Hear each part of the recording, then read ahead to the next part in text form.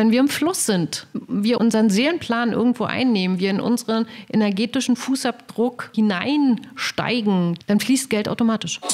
Ja, die Tür geht vor dir auf, aber nur weil du schon im Flur stehst. Du siehst die Tür nicht, wenn du auf der Straße stehst. Help FM, der Selbsthilfe-Podcast.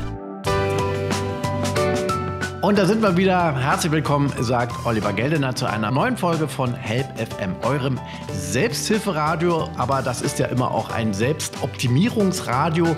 Und wenn wir so in unser Leben blicken und wir haben mal angenommen keine gesundheitlichen Probleme, denn oft geht es hier natürlich auch um Krankheiten oder um Suchterkrankungen, wie in der letzten Folge, dann dreht sich oft bei uns Menschen, leider möchte ich mal sagen, alles denken so um das Geld. Und dann sagt man immer, na ja, wenn ich vielleicht noch ein bisschen da mehr und da mehr und dann könnte ich. Und dann leben wir immer im Konjunktiv und am Ende ändert sich sowieso nichts, aber wir haben immer irgendwas, worüber wir uns aufregen können.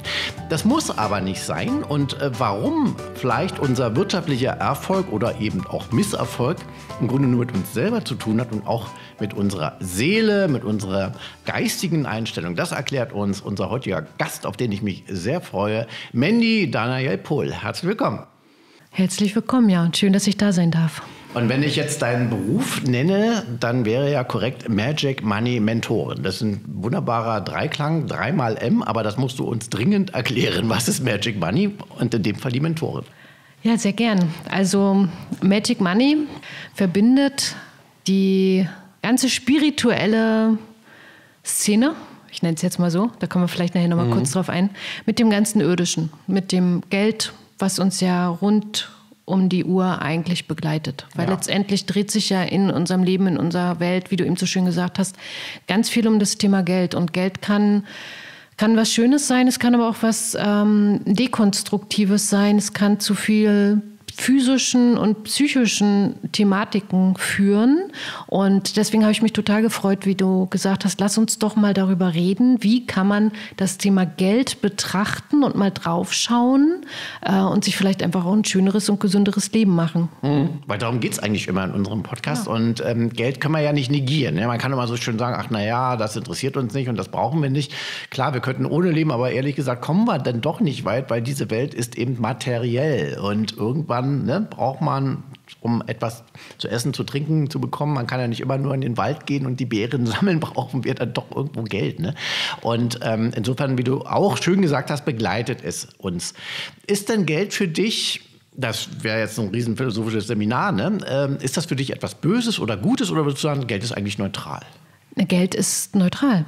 Denn genau darum geht es. Wenn wir aufhören, äh, in diesen Bewertungen zu Geld uns zu bewegen, sondern wirklich Geld als das betrachten, was es eigentlich ist und eigentlich mal sein wollte. Und zwar eine Energie, die wir nutzen können zum Tauschen. Eine Energie, die ein, ein Wertspeicher ist. Das ist Geld. Wir sind diejenigen, die Geld eine Rolle geben. Also ob es gut ist, ob es schlecht ist, ob wir uns von Geld unter Druck setzen lassen, ob wir dem Geld hinterherrennen, weil das ist genau das, wie auch in anderen Bereichen. Geld ist für mich zum Beispiel auch ein, ein unheimliches Beziehungsthema. Wir haben eine Beziehung zu Geld und da können wir uns mal anschauen, wie ist meine Beziehung zu Geld gerade. So, jetzt bist du vielleicht hier in einem Podcast und jetzt reden über Geld. Was macht das? Geld ist ein wahnsinniger Trigger, Geld ist ein Spiegel ähm, im Außen.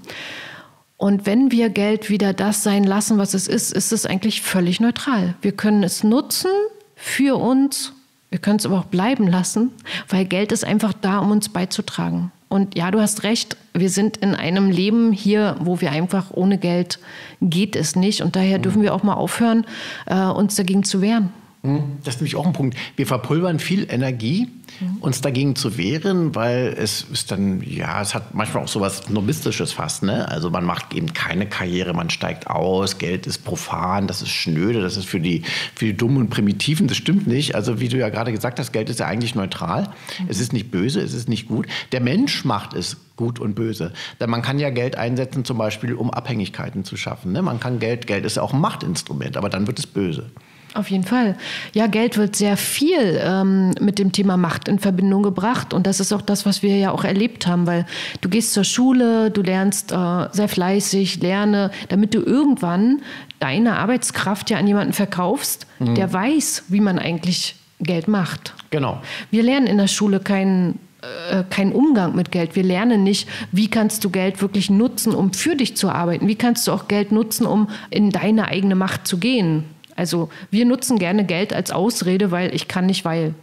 Und damit geben wir Geld die Macht. Und solange mhm. wir Geld die Macht geben, geben wir ihm natürlich eine, eine Rolle, Macht über uns zu nehmen.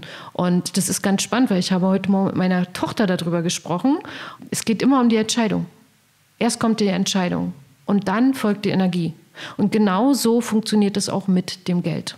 Und wenn wir in diesem Ich kann nicht weil oder nur wenn ich das und das habe, dann kann ich das und das machen. Wenn wir in diesem Konstrukt denken, geben wir Geld die Macht und Geld wird eine Macht über dich haben.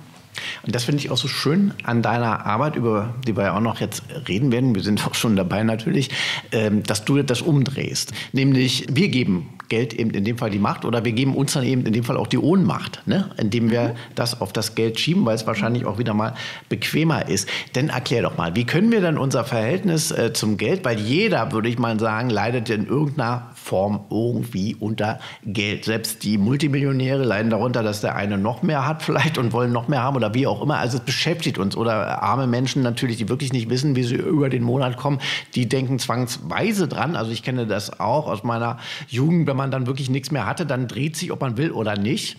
Alles irgendwie um dieses sage ich jetzt mal, scheiß Geld, ja, was man irgendwie haben musste, so, um seine Miete zu bezahlen oder wie auch immer. Aber egal, also wie kommen wir da raus aus diesem Teufelskreis und wie ermächtigen wir uns, das ist ja auch Thema in unserem Podcast, wie ermächtigen wir uns? Erzähl doch mal, du hast die Formel, die Magic Money Formel. Ja. Du hast eben so schön gesagt, du hast es gerade so mit dem Thema Leid verknüpft. Ne? Mhm. Wir geben Geld gern die Macht, damit wir leiden dürfen. Wir geben gerne unserem Körper die Macht in Form von Krankheiten, ähm, damit wir in, in einem bestimmten Konstrukt bleiben. Und wir geben gerne Beziehungen die Macht über uns, wie auch zum Beispiel die Beziehung zu unserem Arbeitgeber oder zu unseren Kunden. Die haben ja die Macht über uns. Mhm. So, und wenn wir mal aus diesem ganzen Macht- und Leidding mal aussteigen wollen, und du hast eben noch was Schönes gesagt, das ist nämlich das Thema ähm, Selbstermächtigung. Was wäre, wenn Geld nur eine pure Energie wäre und wir geben ihm die Bedeutung?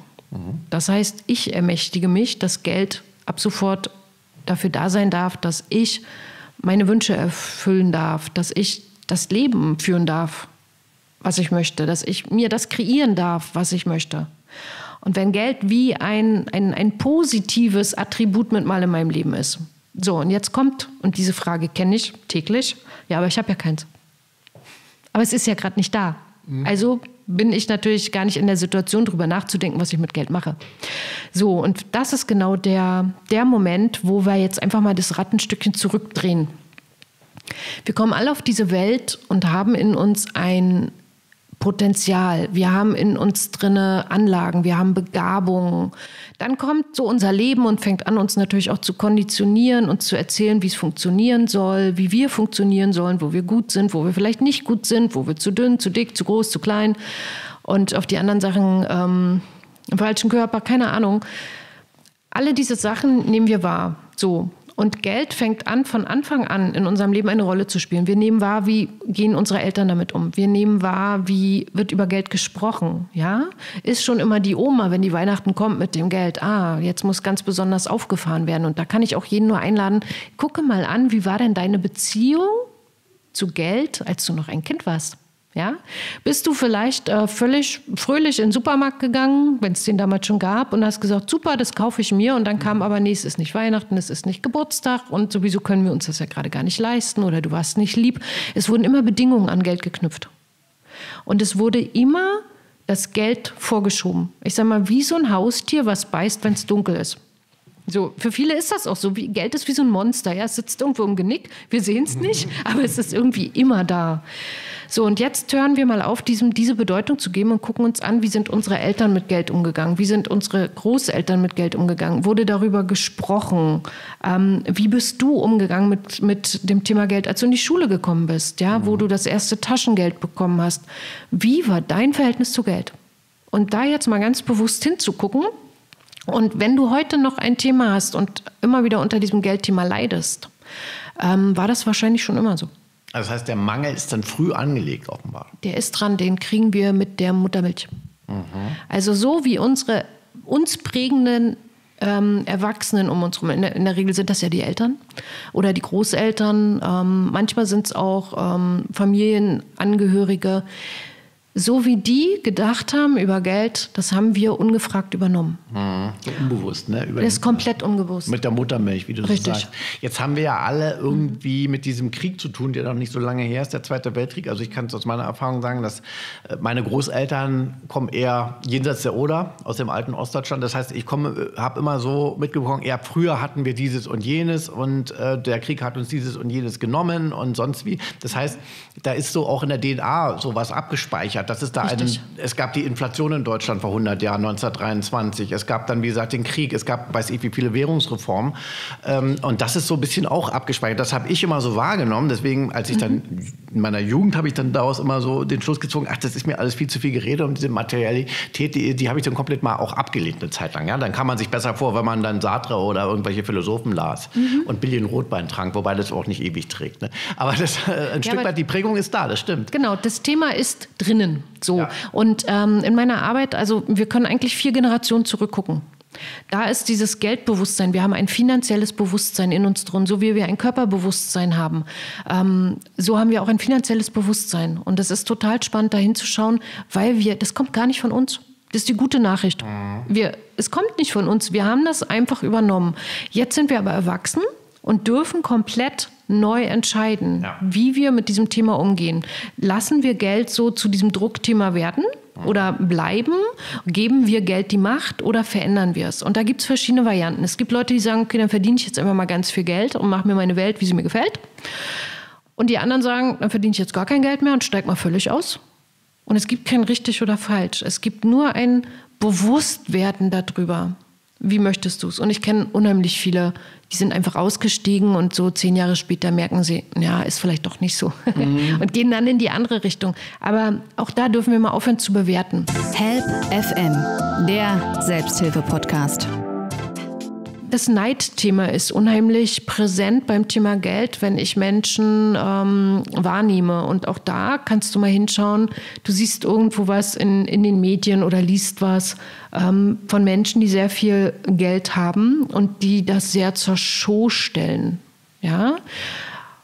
Was, wenn auch das einfach nur ein gemachtes Bild ist? Es gibt unheimlich viele Menschen, die sehr viel Geld haben, die mhm. völlig liebevoll normale Nachbarn sind. Absolut. Und wir dürfen unseren Filter wechseln. Also wenn du aus diesem selbstgemachten Geldteam auch aussteigen willst, ähm, ist es wichtig, dass du deinen Filter wechselst. Und da komme ich jetzt nochmal zurück zu dem, was du gesagt hast. Wir sind so eine Nachkriegsgeneration. Und die haben ähm, mit dem Thema Geld noch eine andere Einstellung. Und äh, viele, mit denen ich arbeite, sind auch so um die 50 rum. Und das ist eine völlig andere Prägung ähm, im Unbewusstsein, weil wir haben ja dieses Thema wir sind nicht gut genug. Mhm. Ja, oder nur wenn wir ganz viel leisten, sind wir es wert, auch ganz viel Geld zu empfangen. Und das ist genauso ein Konstrukt, was man ähm, im Bewusstsein verändern kann, weil es darf auch Geld leicht kommen. Ich meine, wir mhm. gucken uns mal an, was in den letzten Jahren, da wurde eine Presse an, angestellt, der Stecker in die Steckdose gesteckt ja. und zack war da ganz viel Geld da. Ja, also wow. es ist ganz leicht, viel hm. Geld. Aber das stimmt, ich sag mal, einhaken da gerade in Deutschland, wir sind ja, ja. so ein bisschen immer noch eine Leistungsgesellschaft. Ja, Wenn jemand auf vermeintlich leichte Art und Weise, also er hat vielleicht ein Unternehmen gegründet und gut verkauft und hat seine Millionen gemacht, dann sagt man der Nachbarschaft immer, naja, der hat das ja so mehr oder weniger fast wie gewonnen. Ne? Genau. Und das wird immer so anerkannt, der Malocher. Allerdings, genau. ähm, wie du schon sagst, das Geld ist neutral und das Geld äh, kommt zu jedem das, das fragt nicht, ne? ob ich jetzt viel geleistet habe oder wenig. Äh, das Geld kommt zu jedem, das fragt nicht, da hast du total recht. Wenn ich aber in mir drinne denke oder äh, der Meinung bin, nur wenn ich hart dafür gearbeitet habe, bin ich es auch wert, es mhm. zu bekommen, kommt es zu mir eher nicht. Es Sondern es geht dann Denken. eher dahin, ja. wo jemand sagt, ey super, mein Leben ist easy, ähm, ich freue mich über das Geld. Deswegen meine ich von wegen dem Thema, nimm mal Geld wie eine Beziehung. Richtig. Vor allem dann überfragt man schon wieder mit Gerechtigkeit und Ungerechtigkeit. Es gibt gar kein ungerechtes oder gerechtes Geld. Ne? Genau, das, das ist, ist einfach nur Bewertung. Denkkonstrukte. Richtig, und also deswegen sage ich, diese, diese Bewusstseinsebene sich anzuschauen, ist ja. so spannend. Und stell dir mal vor, du, du, du stellst dich an einen Tresen, ja, und Geld ist jetzt nicht Geld, sondern Geld ist eine, ein, ein Mensch. Mhm. Ja? Und du kennst diesen Menschen nicht, der stellt sich neben dir an Tresen, der lächelt nett, ja, und du kommst ins Gespräch. So, wenn das jetzt Geld wäre, was würdest du machen? Sagen, super, da ist es, ich steck dich jetzt in die Tasche, ich knebel dich jetzt auf den Stuhl, du bist jetzt meins. Und viele machen, glaube ich. Ja, ja, klar, aber dann ist der, dieses Gegenüber, was dort so nett am Tresen gelächelt hat, auch ganz schnell wieder weg. Also, und das ist genau Weg? das, was passiert. Es, viele rennen dem Geld hinterher und das Geld rennt weg. Das ist der alte Trick, ne? Wem ich hinterher renne, das kriege ich ja nicht. Ne? Genau, genau, genau. Äh, Das heißt, machen wir das Geld lieber zum Freund? Wäre das so eine. Empfehlung? Ja. Also um da bei deinem Bild zu bleiben, wir Ja. würden mit dem Geld, wir laden das Geld auf einen Drink ein Wir, und wir, unterhalten genau, uns. wir beginnen eine ganz sensible, liebevolle Beziehung, Freundschaft aufzubauen mit dem Geld. Wenn ich jemanden in eine, in eine liebevolle Beziehung einlade, dann überfahre ich den nicht, sondern ich will wissen, was ist seine Geschichte. Ich will Dinge erfahren, ich möchte ins Gespräch kommen, ich möchte einfach mich damit beschäftigen. Und das ist das, wo wir jetzt nochmal zurückkommen, weil Geld ist nun mal sowas Irdisches. Wir müssen uns damit beschäftigen. Wir müssen uns die Geschichte angucken, die wir bis jetzt hatten mit dem Thema Geld. Wir dürfen uns die Geschichte angucken äh, unserer Vorfahren, unserer Eltern, unserer Großeltern. Vielleicht ähm, ist das auch ein spannendes Thema für Ahnenforschung. Also gerne nehme ich dieses Ahnenthema nämlich mit rein in die Geldheilung. Es geht ganz viel um Geldheilung. Und dann dürfen wir uns gucken, wie möchten wir diese Beziehung für die Zukunft aus, aufbauen, ausbauen. Was darf Geld in Zukunft sein? Etwas, wo ich weiter hinterherrenne und es rennt von mir weg? Oder ähm, darf ich mich mit meinem Geld beschäftigen? Wie darf ich es für mich investieren? Was darf ich damit machen? Wie sind denn überhaupt meine Zahlen? Wie sind meine Einnahmen, meine Ausgaben? Kenne ich überhaupt meine Zahlen? Lege ich dann auch Geld weg für mich? Oder habe ich diesen, diesen Glaubenssatz, jetzt spare in der Zeit, dann hast du in der Not. Da erschaffe ich mir schon die nächste Not mit Geld. Ja? Ja. Und wenn keine kommt, geht ja wenigstens meine, meine, meine Waschmaschine kaputt. so, ähm, aber auch da zu gucken, wie darf Geld mir beitragen? Wie kann ich es nutzen? Kann ich das vielleicht ähm, für einen schönen Urlaub investieren? Kann ich was Schönes mit, meinen, mit meiner Familie machen, mit meinen Kindern machen? Ähm, und im Kleinen genauso wie im Großen. Wenn wir im Kleinen nicht mit Geld umgehen können, und das ist das, was ich jeden Tag erlebe, wenn ich sage, kennst du deine Zahlen? Nein, ich gucke nicht hin. Und auch die komischen Briefe mache ich nur auf, wenn sie mindestens dreimal denselben Absender tragen. Dann weiß ich, die Beziehung ist gestört. Okay, ja. Mhm. Das ist dann eine angsterfüllte Beziehung, ne? Genau, genau, genau. Das ist wie, wenn der Gerichtsvollzieher vor der Tür steht. Da habe ich irgendwo vorher nicht hingeguckt. Ja. Weil Und- das ist auch Scham, ne? Weil Scham, Scham und Schuld. Ist man, man schämt sich in Deutschland ja auch davor, arm zu sein. Ne? Also Ja. so zum Beispiel sozusagen auch, ich habe gar kein Geld, aber ist auch egal, ich komme schon irgendwie über einen Monat, machen sich mal keine Sorgen, würde ja keiner sagen. Sondern alle machen immer dann schön die Fassade und nach außen muss immer alles gut aussehen. Ne? Gibt ja, Ja, Leute wohl, die werden arbeitslos und es ist ihnen so peinlich vor der Nachbarschaft, die gehen trotzdem jeden Morgen um sieben aus dem Haus und drehen da irgendwelche Runden, weil sie nicht äh, zeigen wollten, dass sie jetzt zu Hause sind. Ne? Genau. Sowas hat man ja alles gehört. Das heißt, das ist alles so schambesetzt auch. Das sind Schamthemen. Und ähm, Scham und Schuld sind mit dem Thema Geld äh, ganz eng verbunden. Ja. Dieses Schamthema kommt ja auch nicht von uns. Also da können wir hingucken. Und wenn ich im Außen nicht zeigen will, was bei mir los ist, darf ich mal gucken, warum denn eigentlich nicht? Wo mag ich dann auch Hilfe nicht annehmen? Viele haben bei dem Thema Geld so viele Möglichkeiten, Hilfe zu bekommen und sie, sie nutzen diese Chancen nicht, weil sie sich schämen. Warum eigentlich? Hast du da eine Lösung? Oder hat es mit dem Selbstbewusstsein, Selbstwertgefühl zu tun? Es hat ganz viel mit dem Selbstwert zu tun, weil Geld und Selbstwert, also Mhm. du kannst eigentlich alles, was, wo das, Form, das Wort selbst drinne vorkommt, kannst du mit dem Thema Geld verknüpfen. Mhm. Selbstwert, Selbstbewusstsein, selbst das ganze Thema Identität. Wer bin ich denn eigentlich? Und wer wäre ich denn eigentlich, wenn ich kein Geld mehr habe? Wer bin ich denn dann? Das wird häufig beantwortet mit Geld. Wenn man klar, jemanden fragt, genau. wer bist du, dann kommt, äh, ich, kommt der Beruf, ich bin das und das. Ich bin, keine Ahnung, den Beruf und mein Haus, mein Auto, Oder mein ich Pferd. verdiene das und das. Ne? Das heißt, äh, die ganze Identität wird einem im Grunde finanziell erklärt, was ja Richtig. eigentlich nicht richtig ist. So, und wer bist du denn jetzt, wenn, wenn wir Wer mal Geld völlig wegnehmen? Wer Ja. bist du denn wirklich? Ja. Räumen wir doch mal die Fassade weg. Wer bist du wirklich? Mhm. Es gab jetzt auch mal so Zeiten, wo sehr gerne das Thema Geld auch ein bisschen missbraucht wurde, um zu sagen, also zeig mir deinen Kontostand, ich sag dir, wer du bist. Mhm. Ja, und das ist Blödsinn. Geld sagt überhaupt nichts über dich als Mensch aus. Auch dein Kontostand sagt nichts über dich als Ja. Mensch aus. Gar nichts, überhaupt nichts. Sondern ähm, es sagt vielleicht ein bisschen darüber aus, wie du gelernt hast, mit Geld umzugehen und was dein finanzielles Bewusstsein ist. Weil jeder ist in der Lage, auch finanziell eine Sicherheit zu haben und sie sich aufzubauen. Definitiv. Aber dazu dürfen wir hingucken. Und Geld, um nochmal den Kreis ein bisschen nach vorne zurückzuschließen, es ist ein Spiegel. Mhm. Es zeigt mir, lebe ich mein Potenzial. Das mhm. macht Geld sichtbar. Äh, Geld macht sehr viel sichtbar. Und vielleicht kennst du auch diesen Spruch so, Geld versaut den Charakter. Mhm. Ja? Sagt man so, ja. Ja, sagt man so. Oder über Geld redet man nicht. Da sind so viele Glaubenssätze Stimmt, ja. drin. Ja. Und Geld ist einfach ein Spiegel. Das heißt, wenn ein Charakter ein bisschen versaut ist, dann wird das mit Geld noch mehr sein. Es das wird stimmt. anders sichtbar. Wird sichtbar. Was kauft genau. er sich dafür? Genau, und da kommen wir wieder mit dem Thema Scham und Schuld. Mhm. Wenn ich mich für irgendwas schäme, was mit mir zu tun hat, werde ich im Außen Geld nutzen, um darüber hinweg zu blenden? Wo wir bei sind, Geld macht nicht glücklich. Ja, das es ist auch ist, ein schöner Spruch, mhm. genau. Und es ist auch nicht die Aufgabe von Geld, dich glücklich zu machen. Mhm. Aber es macht sehr sichtbar, wenn du nicht glücklich bist. Mhm. Weil wenn du glücklich bist, bist du es mit Geld noch mehr. Und die Menschen werten sich ja mit Geld gerne auf. Also das heißt, sie, genau. sie wollen einen höheren sichtbar. sozialen Rang dann erklimmen und deshalb kommt es ja immer so, bis in gewissen Kreisen wird ja eben über den Kontostand der Wert in der Gesellschaft abgelesen. Ne? Also was man hat, das ist das, was man ist, was ja an sich unsinnig ist. Aber das wird dann gerne getan. Ja, und genau das ist ja auch die Magic von Magic Money, weil man kann es von verschiedenen Seiten betrachten. Und ich schaue mir das Ganze immer von Körper, Geist und Seele an. Wir haben einen Körper, wir haben eine Seele, wir haben einen Geist und wir haben Geldbeutel. Ja, Der ist mal größer oder mal kleiner.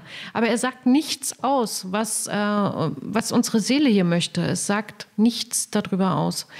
Und wenn wir das ganzheitlich betrachten, ist Geld etwas, was dir sehr beitragen kann, wenn du es für dich nutzt.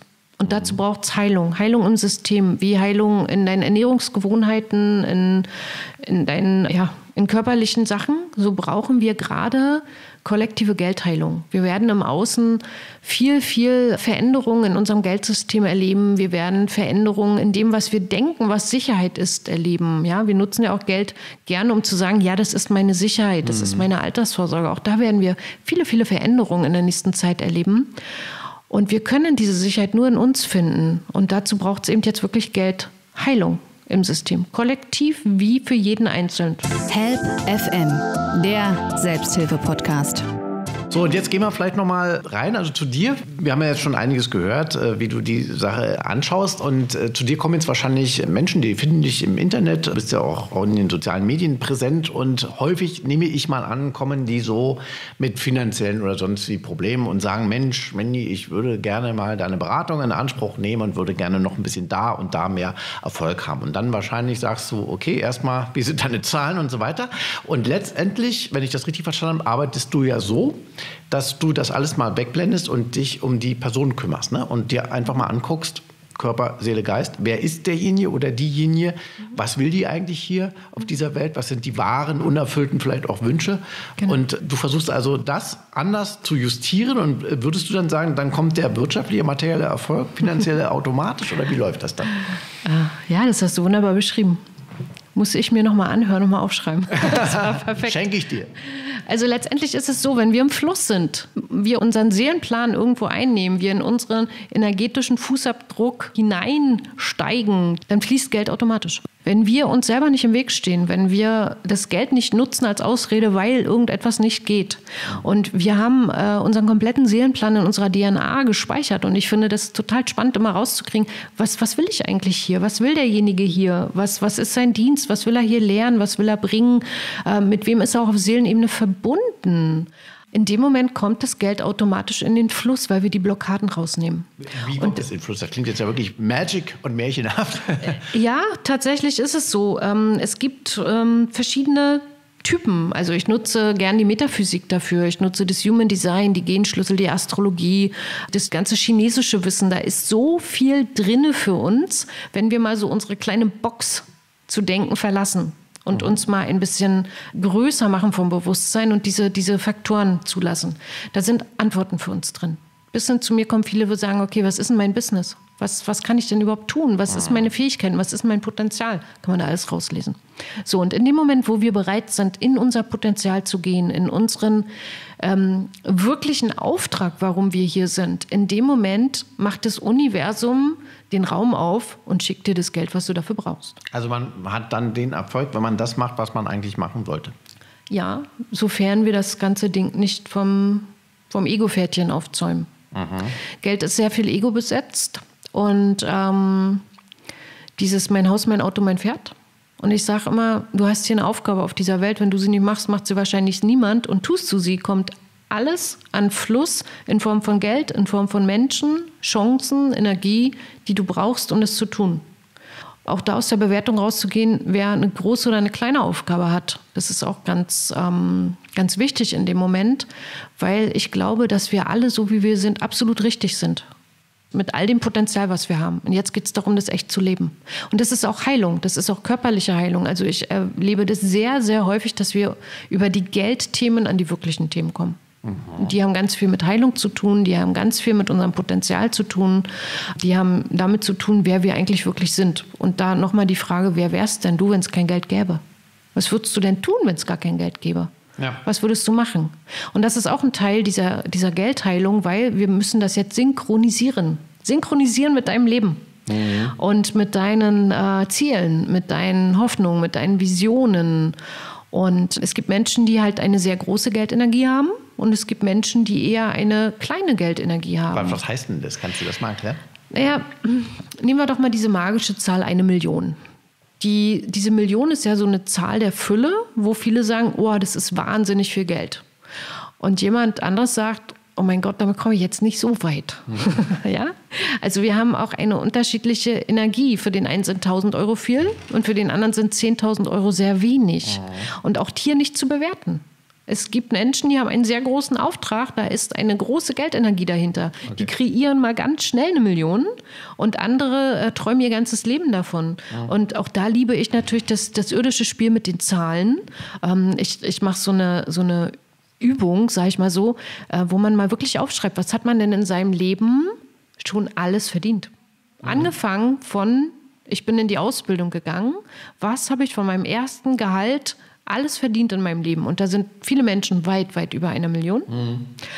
Und auf der anderen Seite, was habe ich auch schon investiert in mich, in mein Humanpotenzial, also sprich in mein Humankapital, nicht für mein Haus, mein Auto, mein Pferd, sondern was habe ich in mich investiert? Vielleicht in mein Studium, Oder in mein BAföG, Kinder, ne? ja in, in, in, die Kinder, in, in, also was habe ich in meine Ausbildung äh, investiert, in, in alles, was mich ein Stückchen vielleicht weitergebracht hat, in mein Wissen, bis hin zu einem Buch, bis hin zu einem Online-Kurs was habe ich eigentlich schon alles in mich investiert? Und wenn jemand wirklich diese Zahlen mal ermittelt, das ist ein wahnsinniges Aha-Erlebnis, um in diese Geldenergie zu kommen. Und da gibt es Menschen, die haben eine kleine und andere haben eine große. Aber das passt immer genau zu dem, was sie hier wollen. Und das finde ich so spannend rauszukriegen, um da nochmal jetzt die Frage letztendlich zu beantworten. Es geht um Geldheilung. Wir dürfen kollektiv äh, mit diesem Thema in den Frieden gehen man geht dann in den Frieden mit dir. Wenn, wenn man wir gehen raus aus Existenzängsten. Es ist ja, viele haben unheimliche Existenzängste und die letzten ja. Jahre waren ja auch dafür da, uns die zu zeigen und die sichtbar zu machen. Es sind Ängste und die Ängste sind im Kopf. Und wenn wir in den Frieden gehen, ins Vertrauen gehen, sind manchmal diese Existenzängste weg und wir wissen, wir sind, wir sind getragen, egal was passiert. Und das, da macht sich ein, ein Raum, ein ganz neuer Raum auf, ein Raum von Möglichkeiten und äh, ganz neuen Chancen. Und viele sagen, es kommt jetzt gerade noch so, ähm, ja, mir geht es ja nicht um Geld. Und dann frage ich ganz häufig, warum stehst du morgens auf? Warum gehst du zur Arbeit? Warum kommst du um 17, 18 Uhr nach Hause? Und das Ganze machst du von Montag bis Freitag. Warum machst du das? Mhm. Naja, wegen dem Geld. Ah, gucke mal. Und da haben wir wahnsinnig viele Verknüpfungen, die, wenn wir die sichtbar machen, wenn wir dort mal einsteigen, die Muster erkennen und wenn wir die Muster erkennen, können wir sie verändern und das bringt Heilung im System und lässt Geld fließen. Das, das, klingt immer so wunderbar einfach bei dir. Wie kann man denn seinen Seelenplan erkennen? Hast du da eine Idee oder Gut, du musst jetzt nicht alles natürlich verraten, das geht auch nicht so einfach, aber äh, du sagst ja, jeder hat seinen Seelenplan und wenn wir im Einklang mit dem leben, würde die Fülle kommen zu uns auch. Wie erkennen wir den denn? Jetzt wird es aber wirklich spirituell, ne? okay, dann male ich vielleicht mal ein Bild. Wir sind hier, weil wir hier sein wollen. Wir sind auf dieser, auf dieser Welt, in diesem Leben zu dieser Zeit, weil wir entschieden haben, dass wir hier sein wollen. Und ähm, vielleicht haben wir uns auf unserer Wolke irgendwann mal gelangweilt und gedacht, okay, super, ich gehe jetzt mal wieder auf die Erde. Also so vielleicht als Bild, vielleicht kannst du das nehmen. Und wenn du doch eh hierher gehst, hast du dir überlegt, was möchtest du hier lernen? Was möchtest mhm. du hier auch erlösen?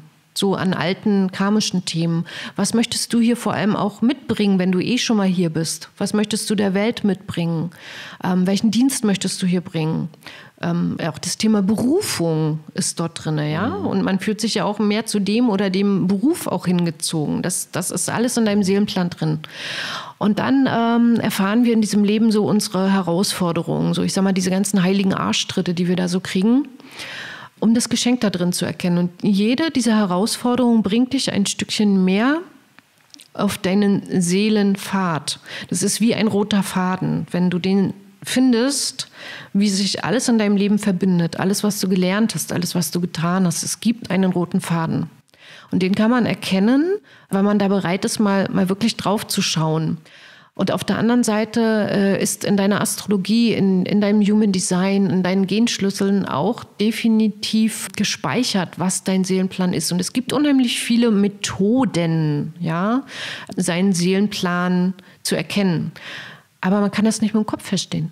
Man kann es nur fühlen. Mhm. Also zu mir kommen sehr häufig Menschen, die haben so 120 Seiten ihr Human Design Konzept, wo ja alles drin steht. Und dann stehen die da und sagen, okay, was mache ich jetzt damit? Mhm.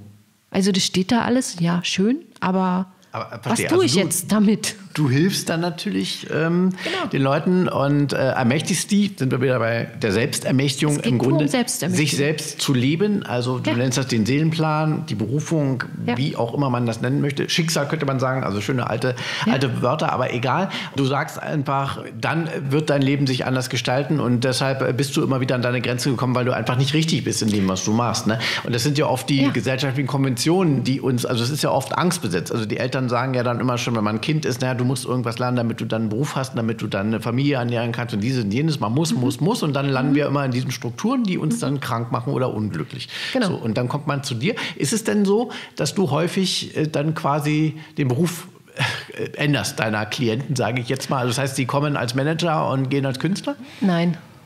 Nein, nein, so ist es nicht, sondern ähm, wenn jemand zu mir kommt, hat er schon erkannt, dass er was verändern möchte in seinem Leben und ganz so krass ist es nicht. Allerdings ist es so, dass viele zu mir auch kommen Beamte sind. und merken, okay, hier geht nichts mehr. Ja. Ich bin depressiv, mein Körper macht nicht mehr mit und eigentlich weiß ich, dass ich völlig auf dem falschen Weg bin. Ja. Und das habe ich aber schon erkannt. Ja, und jetzt geht es darum, okay, aber wie mache ich jetzt und mein neues die Leben? auch was? Also ja, total. Das? Die krempeln ja. ihr komplettes Leben. Du gibst Leben denen ja im Grunde Mut auch mit. Ne? Ja. Dein, dein, ganzes Programm ist ja Mut auch und Kraft Mut und äh, Kraft, Klarheit. Genau. Es geht um Klarheit. Ja. Und vielleicht, ähm, ich kriege gerade ein Bild, sorry, ich bin immer so, äh, ich kriege immer Bilder, ja. Mhm. Du liest ein Buch fünfmal, du liest dieselbe Seite. Und jedes Mal denkst du, das hast du noch nie gehört. Und dann kommt so dieses, jetzt habe ich es verstanden. Ah ja, jetzt. Und das ist Verkörperung. Es rutscht wie so eine Energie durch deinen ganzen Körper durch und du stellst dich nicht mehr in Frage. Wenn du sagst, mein Leben lang, ich war jetzt Polizeibeamter, ja, und es war irgendwie immer komisch und mit mal merkst du, dass deine Seele eigentlich tanzen will. Und jetzt erlaubst du es dir endlich mal zu tanzen und merkst, was da für, für ein Glücksgefühl sich einstellt und mit mal wird alles leicht um dich rum. Jetzt kannst du gucken, okay, äh, jetzt gehe ich vielleicht noch wegen dem Geld eine Weile dorthin. Hm oder ich mache ein Tanzstudio auf. Es kann passieren. Aber so diese ganz krassen Veränderungen sind es nicht, sondern es ist immer ein Weg. Aber wir brauchen diese Klarheit in uns. Und dann tun sich die Chancen auf, dann tun sich die Möglichkeiten auf. Dir begegnet jemand, äh, der fragt dich genau das, wonach du die ganze Zeit suchst. Das ist so diese Magie da drin. Ähm, damit mal kommt Kooperation. Du sagst, ich kann ja nicht wegen dem Geld. Wenn mal kommt jemand um die Ecke, der hat das Geld und sagt, ich habe schon ewig nach einem Tanzlehrer gesucht, willst du dich nicht mal probieren? Mhm. Ja, also so, das, das Leben fügt dann zusammen wie Puzzle, was zusammengehört. Es ja. ist wie so ein, wie ein magisches Puzzle. Also wir haben einfach viel zu viel Angst. Ne? Wir haben Angst, genau. Also, und äh, wir vertrauen dem nicht. Es ja. hat was mit Vertrauen zu tun. Und wir dürfen wieder in dieses Urvertrauen gehen, dass der Weg sich zeigt, wenn du ihn gehst. Ja, die Tür geht vor dir auf, aber nur weil du schon im Flur stehst. Du siehst die Tür nicht, wenn du auf der Straße stehst. Du musst mhm. da erst mal rein und vertrauen, dass da eine Tür sein wird. Ich sag mal, das ist wie aus dem, ähm, beim Fallschirmsprung. Du, du vertraust ja auch, dass das Ding aufgeht, oder? Mhm. Wenn du da oben aus dem Flugzeug hüpfst. Flugzeug einsteigen und in Urlaub fliegen, nicht? Ich meine, ja, das ist ja, ja, auch, wir vertrauen dem Piloten. ja, wir vertrauen ja auch an, dass wir da ankommen, wo ja. wir eigentlich jetzt hin wollen. Genau, richtig. Ja, wir Richtig. geben ab, ne? wir geben Kontrolle ab. Ne? Genau. Was wir ja so ungern tun, äh, natürlich ist klar, verstehe schon. Es geht auch um Selbstbefreiung und äh, du würdest einfach sagen, auch da gibt es ja ein wunderbares äh, deutsches Sprichwort, ne? wenn eine Tür zugeht, geht eine andere auf. Also sich auch mal trauen. Wir gehen ja oft deshalb in beamtenhafte Arbeitsverhältnisse, weil es natürlich Sicherheit ist. Der Beamte kriegt immer sein Geld, ne? der kriegt seine Pension. Ja. Aber äh, das ist oft dann eben nicht das, was uns glücklich macht. Also du würdest eben immer wieder sagen, dann geh doch raus aus dem Job, wenn es dir nicht gut tut und mach eben ein Tanzstudio auf oder was auch immer. Jetzt könnte der Spießer natürlich einwerfen, ja, aber wie soll er denn überleben mit dem Tanzstudio, wenn keiner kommt? Aber da würdest du sagen, dass eben dann auch wieder angstbesetztes Denken. Genau, genau, na klar, weil in dem Moment, wo das dein Seelenplan ist, da sind die Leute ja schon da. Die stehen ja schon da und sagen, Gott, dann machst du endlich dieses Tanzstudio auf, ja? Also äh, man kann das so pauschal nicht sagen, sondern ähm, ich liebe einfach, wie gesagt, die Metaphysik, weil da sind die Antworten drin. Und nicht okay. jeder ist für ein Tanzstudio geeignet. Es gibt Leute, die sollten wirklich Finanzbeamter bleiben, weil das einfach äh, ihnen mehr entspricht. Und das kann man erkennen und das kann man sehen und das ist äh, für mich so dieser Einstieg in den Seelenplan. Und du hilfst äh, uns dabei, äh, wenn wir dann zu dir kommen und deine Hilfe in Anspruch nehmen, ja. hilfst du uns dabei, uns selber besser zu erkennen, zu ja. wissen, wer wir eigentlich sind, ja. weil vielleicht sind wir doch Finanzbuchhalter und sind da genau richtig.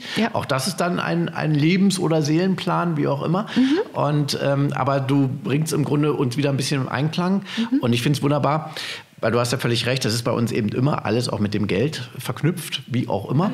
Und ähm, das entwirfst du herrlich. Und ähm, ich denke auch, wenn sich das Mindset, ja, wenn man jetzt so neudeutsch sagt, also das Denken darüber, die Einstellung ändert, dann ändert sich eben auch wahrscheinlich die Stellung der Geldbörse. Die wird dann ein bisschen größer. Genau, also letztendlich ähm, ist es wie so eine Bestandsaufnahme. Ähm, und du hast ja irgendwo das Gefühl, dass irgendwas nicht so richtig gut ist. Mhm. Sonst würdest du ja nicht zu mir kommen. Dann würdest du wahrscheinlich hier ja. schon lange nicht mehr zuhören, sondern du fühlst, dass da etwas ist, was angeguckt werden möchte. Und da gehe ich ähm, sehr liebevoll mit dir in diese Fragestellung, die gerade da ist. Und dann machen wir den Raum auf und schauen, was gesehen werden will. Geht es wirklich um den Umgang mit Geld? Geht es um traumatische Erfahrungen mit Geld, mit Selbstwert, mit Schuld, mit Scham? Geht es ähm, auch um, also Geld wurde, wie gesagt, auch sehr missbraucht in vielen Familiensystemen und das zeigt sich dann, aber da, da schaffen wir liebevoll den Raum. Manchmal geht es aber auch wirklich pur um das Thema Selbstermächtigung. Ich habe die ganze Zeit das Gefühl in mir, dass etwas anderes viel mehr zu mir passt, aber ich habe mich noch nie getraut, da hinzugucken. Und dann schaue ich da mit dir hin und du darfst immer wieder auch einen Schritt zurückgehen. Aber wir gehen gemeinsam ein paar nach vorne, gucken mal rein, was könnte sich zeigen, macht sich ein neuer Raum auf. Und das ist dieser, dieser spannende Weg. Und nach meiner Arbeit kommt ja immer so, irgendwie, ich hatte ja schon das Gefühl, es war ja schon da. Ich habe mich nur nicht getraut, dahin zu gucken. Und das ist das, was Geld in den Fluss bringt.